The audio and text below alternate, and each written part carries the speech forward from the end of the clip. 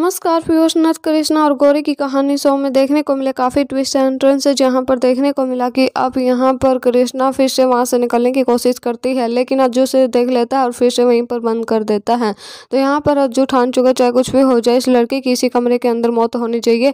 अगर ये बाहर निकल गई, इसके परिवार के पास पहुँच गई, अगर इसने परिवार को सच्चाई बता दी कि गोपाला को इसका दिल दिया गया है और इसका दिल निकाल लिया गया है, और अगर हमारा सच पूरी दुनिया के सामने आ गया तो फिर हमें ज़िंदा नहीं छोड़ेंगे इसके परिवार वाले और ये दुनिया वाले, और फिर हमें जेल हो जाएगी।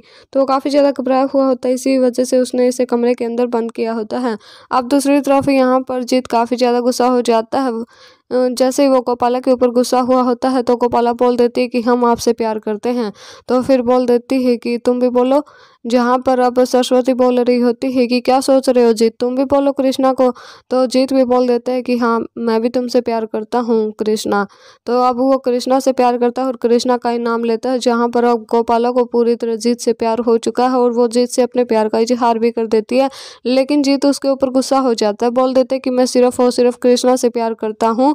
करता था और करता रहूँगा। तो अब क्या गोपाला जीत के दिल में अपने लिए बना पाएगी जगह?